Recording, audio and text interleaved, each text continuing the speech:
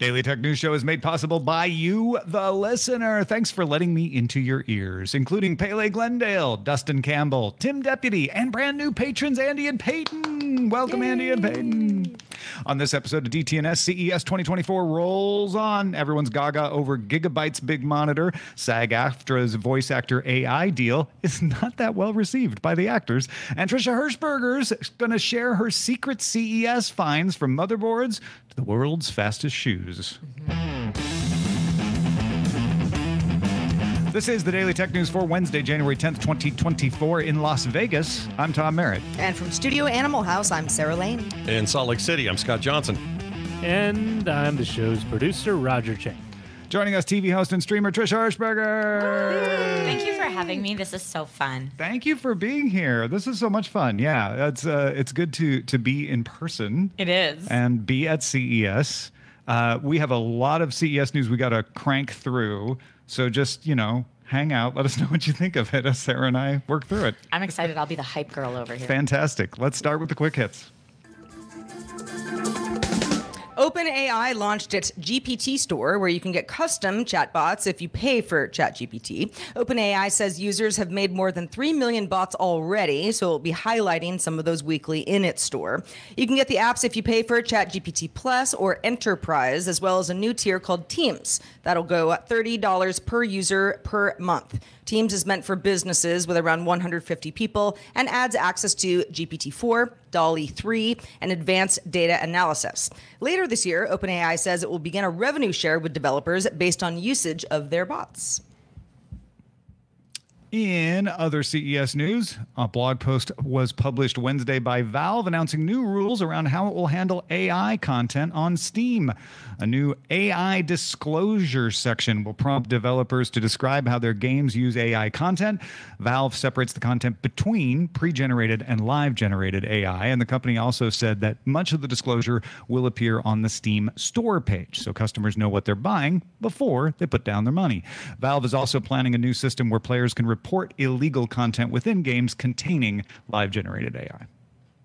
On Tuesday, the Securities and Exchange Commission's X account, which is at SEC.gov, appeared to have posted the following tweet. Today, the SEC grants approval for Bitcoin ETFs for listing on all registered national securities exchanges. The approved Bitcoin ETFs will be subject to ongoing surveillance and compliance measures to ensure continued investor protection. End quote. However, that wasn't something that the SEC actually posted. By the way, ETFs stand for Exchange Traded Funds. However, what happened was a malicious actor used a SIM swap attack, took over the phone number tied to the SEC Gov account. X said Tuesday night after a preliminary probe of what happened, it found no breach of its own systems and also said the SEC's account didn't have two factor auth enabled. Whoops. SEC Chair Gary Gensler has opposed Bitcoin ETFs in the past, although the SEC is expected to reverse course this week. Mm-hmm. A little wild ride for Bitcoin yesterday. Uh, back in March of 2023, Twitch laid off 400 people at the same time that its parent company, Amazon, went through wider layoffs of 18,000 people. Uh, today, on Wednesday, Twitch CEO Dan Clancy announced Twitch is laying off more than 500 people, and that's around 35% of its existing staff. Amazon also sent an email to employees of Prime Video and MGM Studios announcing it will cut hundreds of jobs in those divisions. Amazon has laid off more than 25,000 employees in total last year. Hewlett Packard Enterprise, or HPE, confirmed it will acquire networking gear vendor Juniper Networks for around $14 billion in an all cash deal. The deal still needs to be approved, at which point the acquisition will double HPE's existing networking business, with Juniper CEO Rami Rahim running the combined group and reporting to HPE's CEO Antonio Neri. You might recall that back in 2015, HP split its business into two entities, including HPE, that sells servers and other equipment for data centers, and HP Inc., which makes PCs and printers. We have a couple of nice stories about tech growth today. The Semiconductor Industry Association reports the worldwide chip revenue rose 5.3% on the year, led by a 7.6% rise in chip sales in China. It's the first time we've seen growth for chips in more than a year. And Data.ai reports that consumer spending on apps rose 30% on the year across Apple, Google, and third party app stores, mostly in China. Game spending fell 2% but non game spending in apps rose 11%, led by TikTok and generative AI apps, so like ChatGPT and stuff. Bangladesh was the fastest growing market for app spending. Have you been spending a lot? I have not. I feel No, like I'm missing it's something. not me either. So it must be Bangladesh, I guess. AI pin device maker Humane cut 10 people from its staff, including its CEO, who departed to spend more time with his family but continues to advise the company. Not a huge percentage of Humane's total employees, but still significant.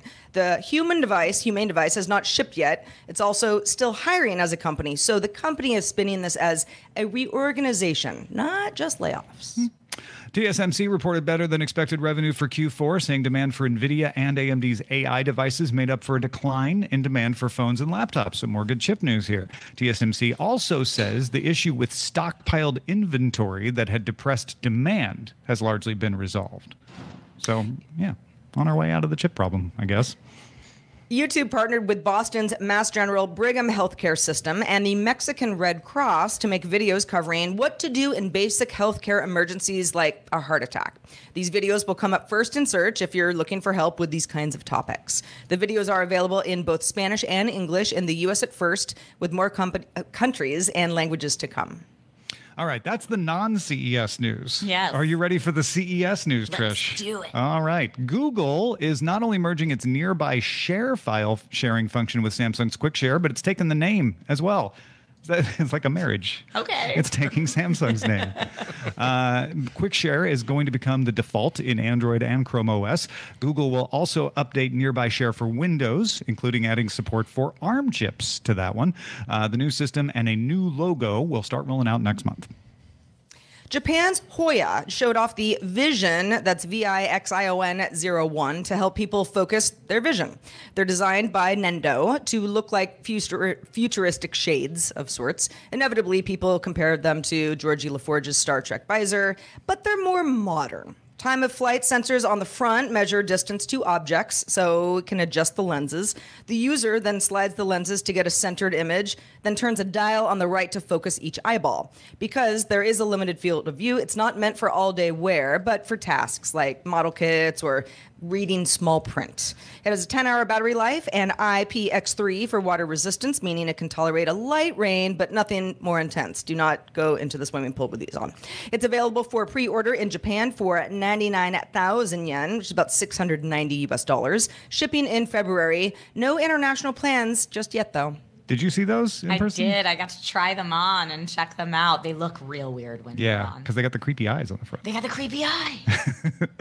Uh, Vietnam's VinFast announced its VF3 utility EV coming to the U.S. This is following up the VF8 midsize crossover brought to the U.S. last year. New VF3 is like a small, blocky SUV looking thing. Uh, it's a bit smaller than a Mini Cooper SE. Uh, seats four people, and you can fold down the rear seat for cargo. Comes with Apple CarPlay and Android Auto, and gets 125 miles on a charge, so it's not going to go super far. The VF3 sells for the equivalent of about $12,000 in Vietnam, so even if it's more expensive in the U.S., it will likely be one of the most affordable uh, S- uh, EVs that you can get. VinFast will start accepting reservations later this year. Also announced a Toyota Tacoma-sized truck called the VF Wild with a power-folding mid-range thing that expands uh, Uh, that expands from five to eight feet. No range or timing or release on the truck yet.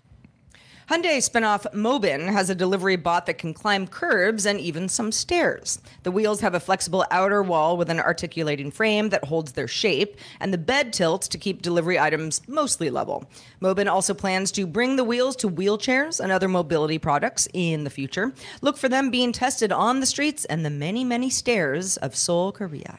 Oh, you've, you've experienced those I, stairs. I have experienced Yeah, them. me That too. will be very helpful. Uh, in even smaller EV news, Squad Mobility showed off prototypes of its tiny solar powered EVs. Squad Mobility was founded by engineers from the solar powered car company Lightyear.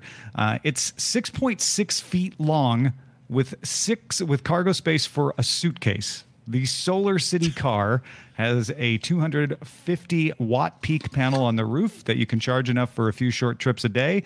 In sunny Las Vegas, for example, you could expect to get around 13 miles just on the energy from the top panel. You can plug it in too. Top speed is 25 miles per hour, and the company says it's a year out from production, but hopes to sell the Solar City EV for 6,250 bucks. All right. Price of a MacBook Pro. Mm-hmm. Walmart executives gave a keynote address at CES on the company's plans to use augmented reality and drones and generative AI and other tech. On iOS, Walmart added some generative models to its search so you can give it use cases like supplies for a birthday party rather than searching for plates and napkins and cakes individually. Walmart also showed off a chatbot that might eventually help shoppers by talking to them about what they're looking for. Walmart will also add some generative model help to its in home replenishment service that identifies frequently ordered items and then delivers them to your home when you need them through its smart lock powered in home delivery service. On the augmented reality side, Shop with Friends lets you virtually try on outfits and then share the results. And Sam's Club will start using computer vision to speed up the recipe confirmation as you exit the warehouse stores. Walmart will also expand its drone delivery service to cover 75% of the Dallas Fort Worth area in Texas.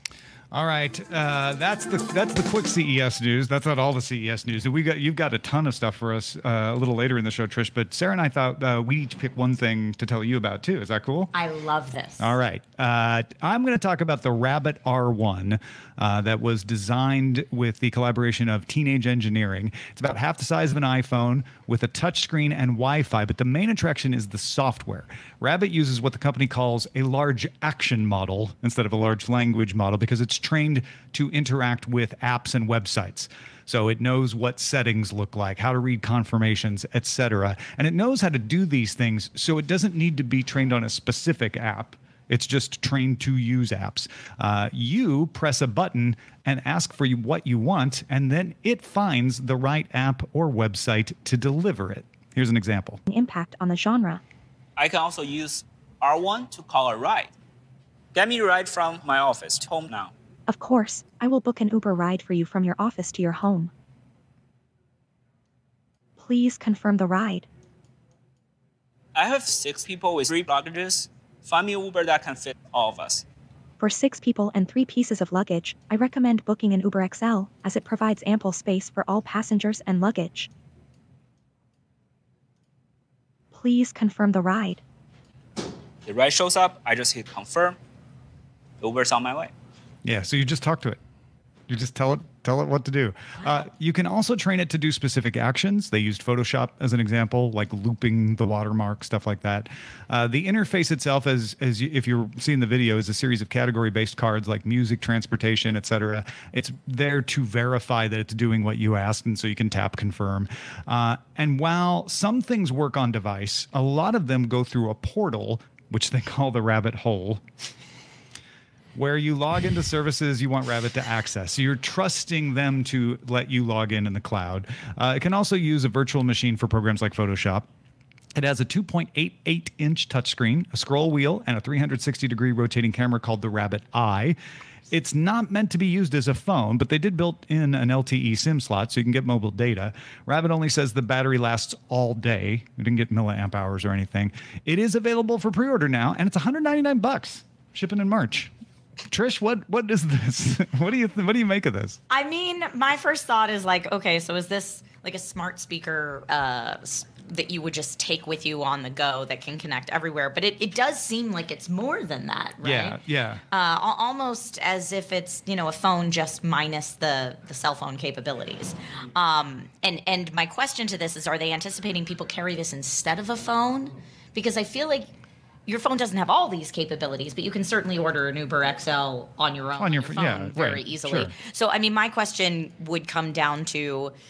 Does it work the way that they showed it in the demo, um, or you know, am I going to ask my bunny assistant to Mm-hmm. Yeah. order me an Uber and it'll say, "Can understand what you're asking for" over and over and over again, or something like yeah, that? they have said they don't expect it to replace a phone, but maybe it will. So I feel like this is Hmm. for early adopters at $199. It's not a steep thing for people to try out, and they want to Yeah. see what people make of it. Sure. They want it to get its name out there, and then Mm-hmm. my guess is they probably hope somebody wants to license the technology or build it in or partner with them or something Sure. like that. Scott, what do you make of this? Well, I kind of have the same initial questions that Trisha threw out. Um, even more so, I would say, when I see him do this on the stage, what I feel like I'm watching is a thing our phones are either already doing or will do shortly.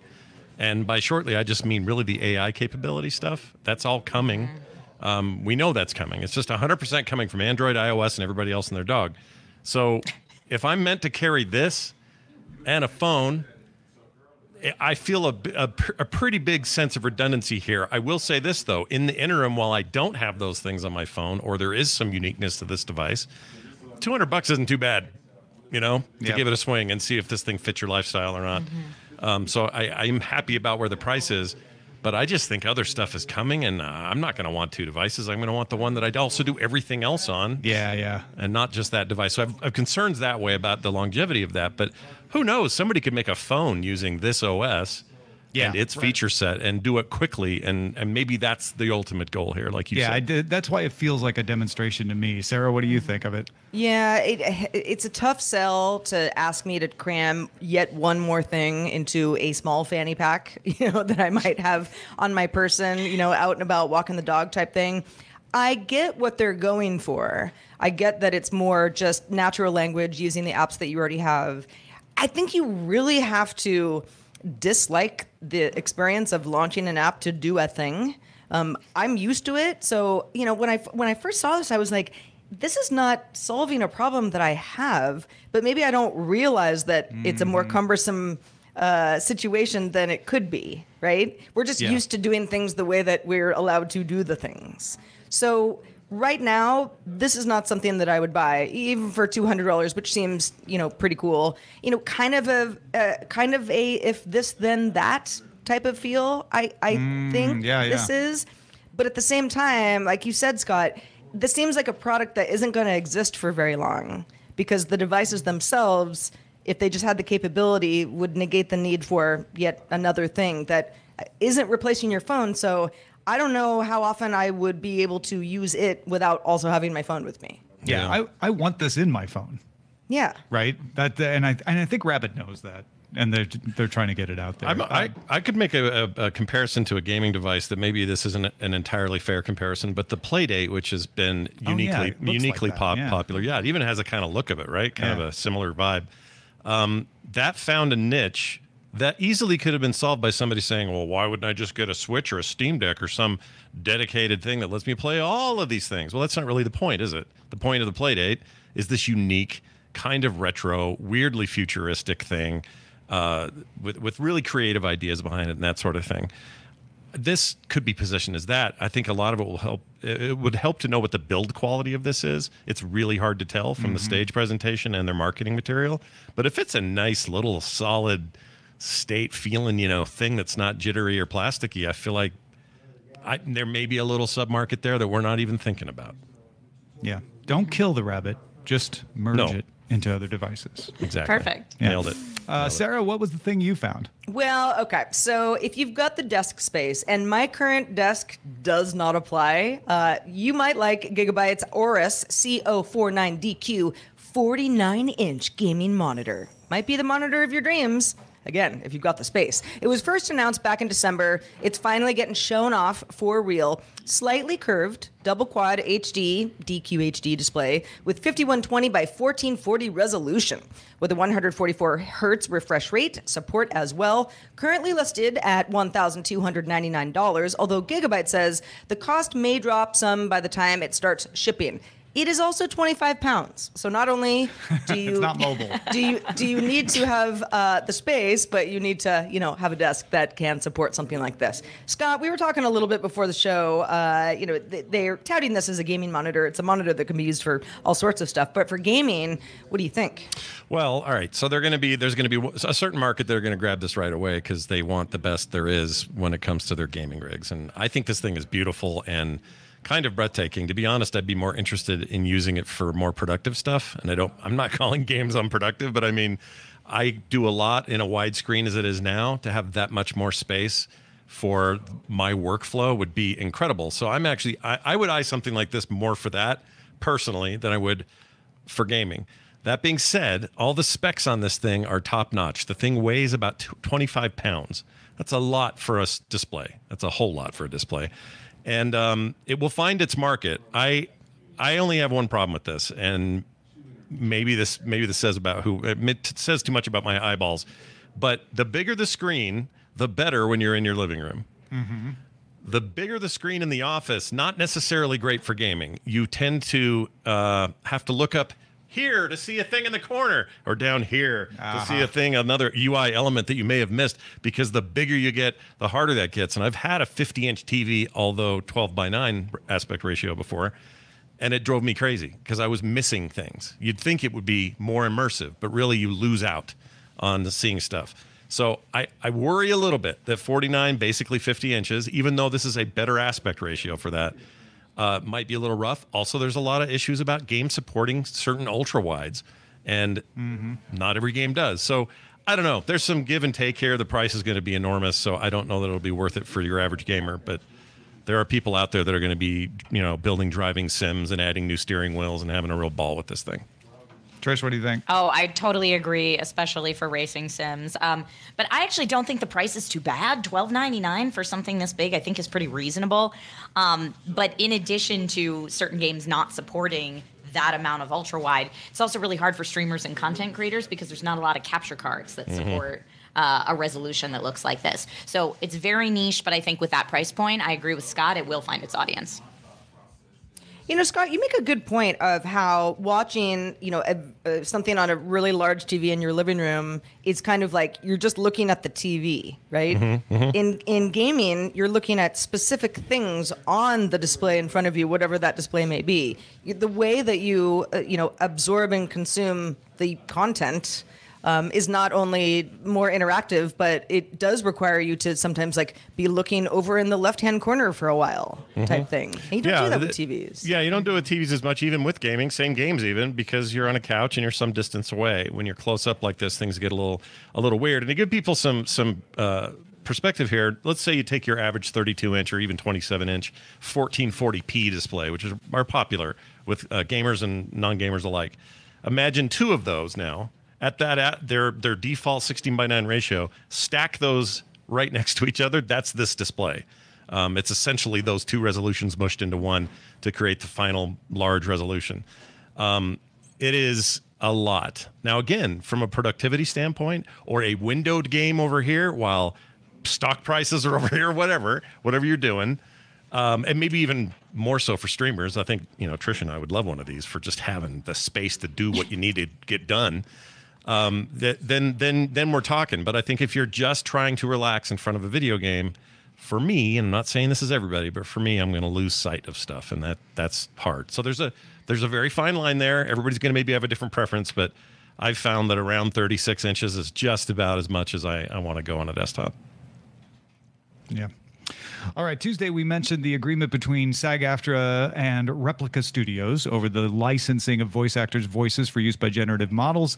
The agreement includes minimum rates to replicate a voice, limitations on how long that replica can be used, some safe storage and transparency requirements, and replicas can be used in games and other media, ancillary media, probably trailers and things like that is most likely what that's for. It does not allow for voices to be used to train language models, at least not yet. Uh, actors must give consent before their voice can be replicated and can deny the right to use their voice in perpetuity. SAG AFTRA said in a blog post that the deal was approved by affected members of the union's voiceover performer community. But the deal came as a surprise to at least some voice actors. Prolific video game voice actor Steve Blum told the BBC that nobody he knew of had approved the deal. World of Warcraft voice actor Andrew Russell told the BBC the deal was garbage. And actress Shelby Young said that she was really disappointed in the union. Trisha, have you been following this story? And you know, why does it seem like there's so much? Uh, I don't know, uh, discord. Um, I have been following it, and I am a SAG AFTRA member. Not that I do video game voice acting, but I really respect the craft, and I have a lot of friends that do it. Um, and was obviously following all of the AI conversation around the SAG AFTRA strike that recently resolved. Um, but I think the biggest deal here is using a voice replica and you know or or using your image replica for the SAG AFTRA mm-hmm, strike that mm-hmm. just resolved it takes away the acting part of it. Mm-hmm. So sure you're licensing your voice but is an algorithm going to deliver the same performance that Christopher Judge does in God of War? Like the human interpreting the emotion of the text and telling the story, that is acting. So this is taking away acting uh, in terms of just like, I guess I have a unique voice, you're welcome to use it. I do like that it's not using it to train Mm-hmm. any future AI or create any synthetic voices. It is just a replica in that way. And I can see how SAG AFTRA is trying to work with the new technology rather than just trying to stop it. But as a performer, like I, you know, I'm I have a theater degree. That's what I trained in.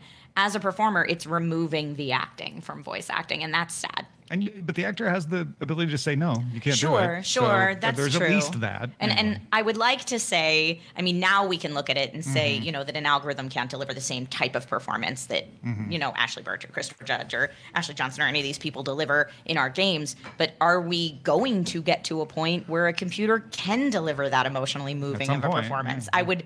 I, I hope that the human element of it brings something different, but that's a scary prospect. Yeah, I I have enough friends in the voice acting business, especially in the video game as- acting business, to know that their biggest problem with this isn't so much the structure of it, although there are some problems with it. Some, you know, like you mentioned, someone called it garbage or a garbage deal.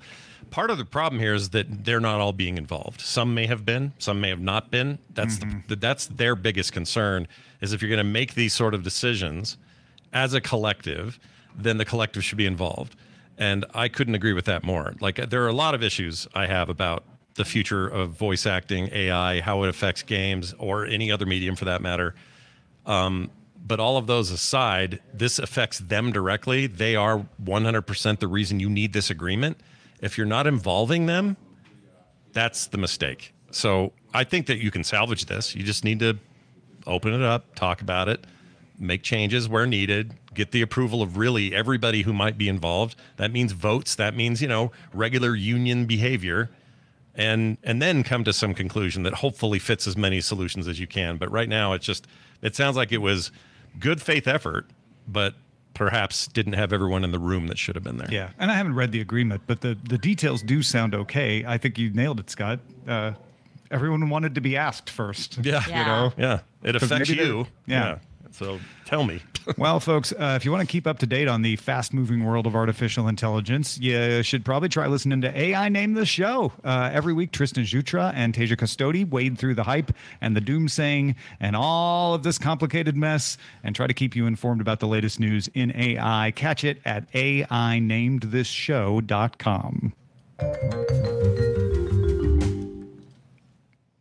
CES is jam packed with products and innovations in almost every category. Trisha, you've been here a few days already. Uh, it's overwhelming what's out there. Uh, what are some of your faves, though? What are your, some of your hidden finds you've so far? So I love getting to talk to all of you because there is no possible way that one human can see everything at CES. So Yeah, I yeah. like that we're bringing different things from different perspectives. But as far as what I've seen so far, probably the thing I'm most excited about is the hidden cable motherboards that are coming out. And I kind of read and was looking forward to seeing these in person before I got here.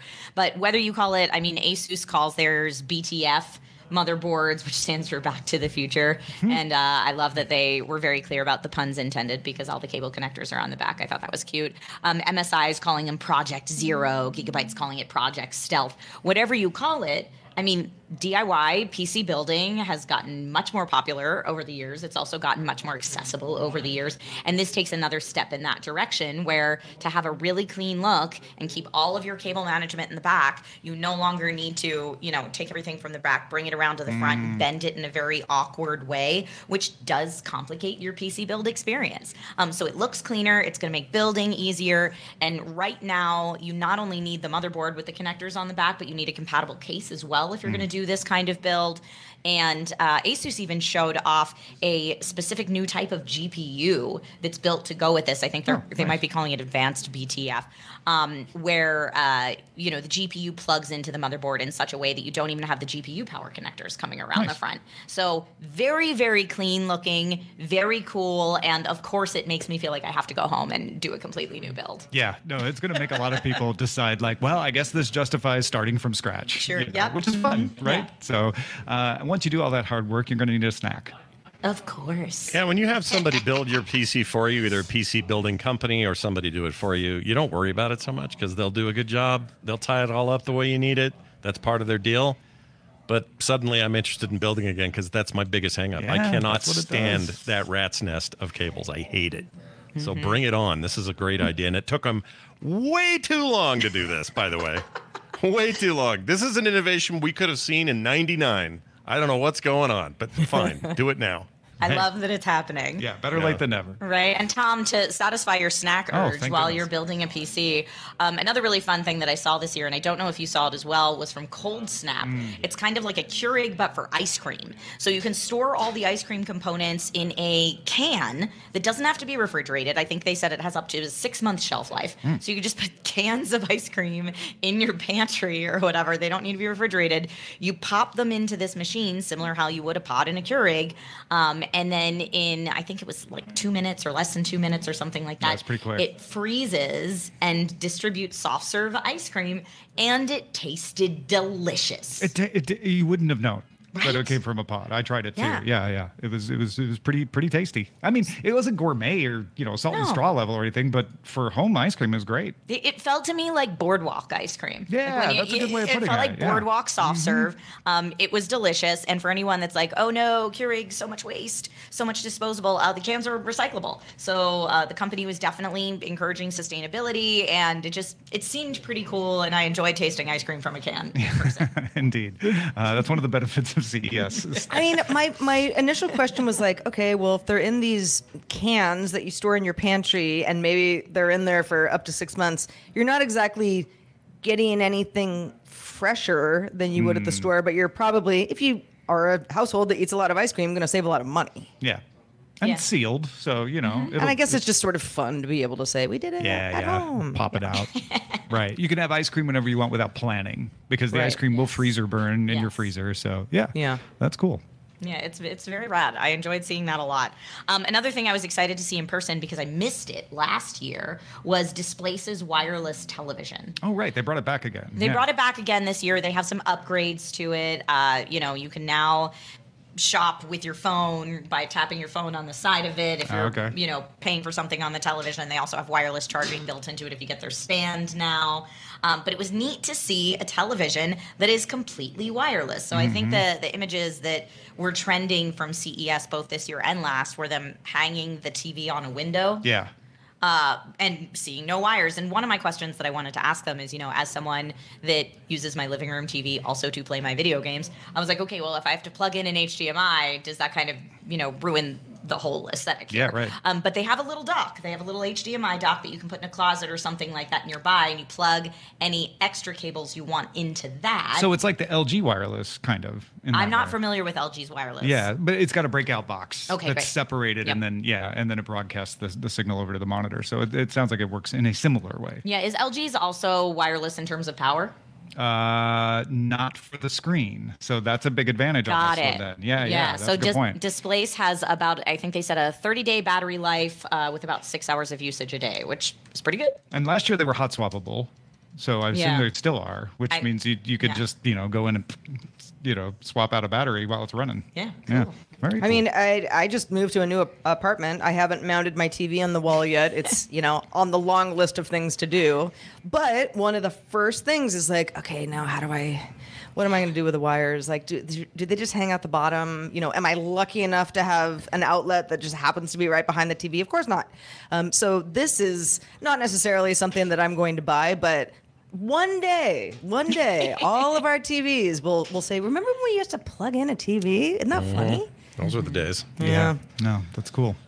It's very, very cool. Um, another thing I saw people running around with, or should I maybe say skating around with, um, at one of the events this week is the world's fastest shoes from Shift Robotics. I, don't know if- dodged many a person wearing the world's fastest shoes. Did you get a chance to try them? I didn't them? put them on though. Yeah. I didn't put them on because I had sandals on that day, and Oh, I was not about to put my feet in any shoe robots without a lot of protection. Mm. Um, but they basically kind of looked like if you remember moon shoes, those horrible ankle breaking traps yeah, from yeah. like yesteryear. Uh, if you remember moon shoes and then roller skates, like if they all had a baby, that would be these Shift robotic shoes. Um, and I guess they showed this design back in 2022, but it's the first time I saw it, and they it, it essentially feels like uh, from what everyone has said, walking around on like a people mover at the airport.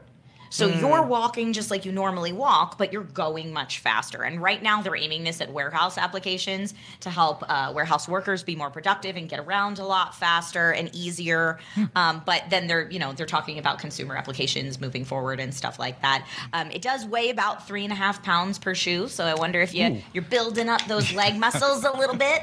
When you're using it. It's a it. workout. Um, but it, you know, it, Especially if you're using it in a warehouse. yeah, maybe Okay. a little bit Yeah. after a while. But you know what? It does only have a one hour battery life right now, so maybe your legs could take it for about an Mm-hmm. Okay, hour. yeah. Um, but you know, as this becomes, you know, A one hour battery mass-produced- life. I yeah, that's what, and it takes about an hour to charge it back up. Yeah, so it'd be an hour on, yeah. hour off. At this stage, once they become more mass produced, maybe we would start to see better solutions to that, and also probably better price points.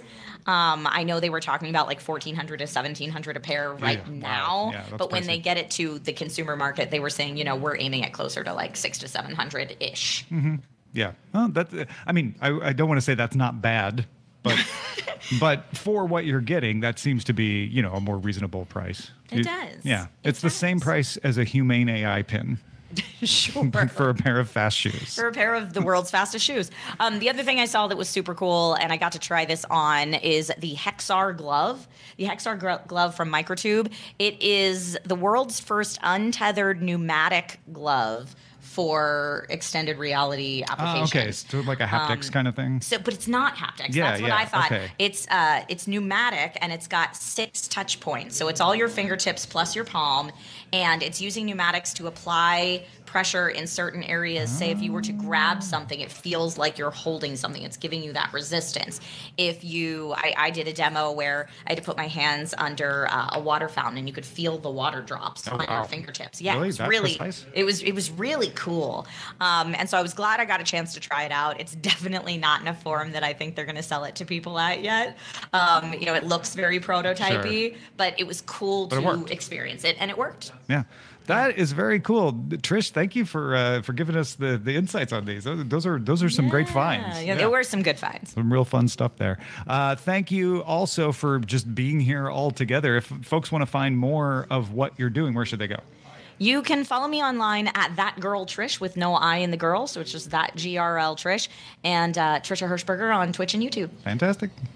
Scott Johnson, thanks to you as always. Let folks know where your latest can be found. Well, speaking of games and some of the stuff that'll come out of CES, since we don't have uh, E3 anymore, some of the hardware stuff ends up showing up here. So we're going to talk about that at length on the show Core. We record every Thursday, and it is all video games from the industry on down to stuff we played that week. If that sounds like fun to you, come laugh and hang out with us at frogpants.com slash core. Patrons, you don't have to go anywhere. Stick around for the extended show, Good Day Internet. There's more to talk about. It's CES. You can see it behind me right now, uh, including how this show is different from any from other CESs. We're going to talk a little bit about our impressions as well. Reminder, we do the show live Monday through Friday, 4 p.m. Eastern. That's 2100 UTC. And you can find out more at dailytechnewsshow.com slash live. We'll be back talking more CES with Shannon Morse joining us on the show tomorrow. Talk to you then. The DTNS family of podcasts, helping each other understand. Diamond Club hopes you have enjoyed this program.